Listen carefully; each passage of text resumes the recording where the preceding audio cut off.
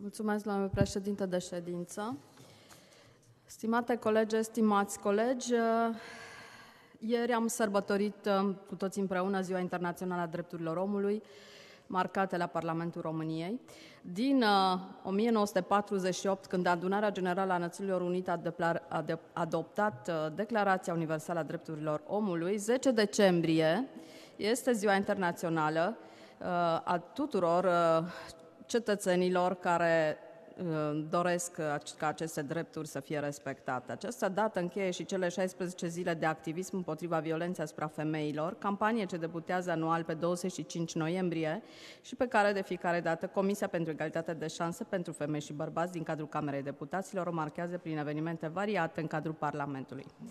Acum peste 70 de ani, liderii țărilor membre ONU au consfințit în scris că toate ființele umane se nasc libere și egale în demnitate și în drepturi. Astfel, în cadrul ședinței Comisiei pentru Egalitatea de Șanse am dat încă un semnal, alături de colegii mei din toate formațiunile politice, că România trebuie să respecte și să aplice acest principiu la care a aderat.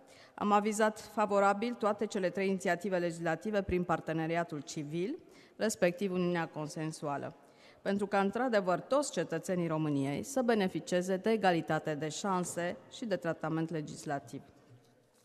Deși principiul egalității de șanse este înscris în esența Declarației Universale a Drepturilor Omului, precum și în Constituția României și legislația în vigoare, din păcate, realitatea din teren este alta. Am ales această dată de 10 decembrie Uh, pentru acest vot, tocmai pentru a sublinia aceste aspecte și a transmite sprijinul nostru pentru toți cetățenii României care s-au simțit discriminați și au fost privați de drepturi fundamentale în ultimii 30 de ani. Și pentru că nu există, din păcate, un singur palier sau un singur domeniu afectat de discriminare, am avizat favorabil un set de inițiative legislative care vin în sprijinul copiilor și părinților din România.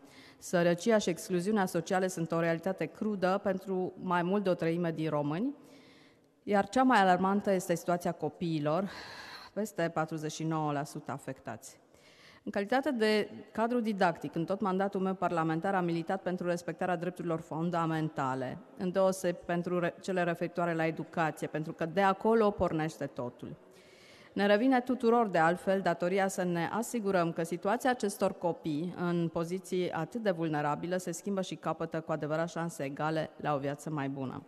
În acest context, am propus și am votat un aviz favorabil pentru recunoașterea dreptului copiilor din medii defavorizate la educație, atât în Comisia pentru Egalitate de Șanse, cât și în Comisia de Învățământ. USR a reluat un proiect început în 2016 de încurajare a familiilor din medii vulnerabile pentru a-și înscrie copii la grădinițe, în vederea reducerii abandonului școlar. Tichetele de grădință de 100 de lei de data aceasta vor încuraja incluziunea socială educațională prin prezența copiilor în unitățile de învățământ. Aceste tichete vor fi condiționate de frecvența regulată a copiilor în grădinițe, aceștia neputând să lipsească mai mult de trei zile cu anunțul cadrelor didactice.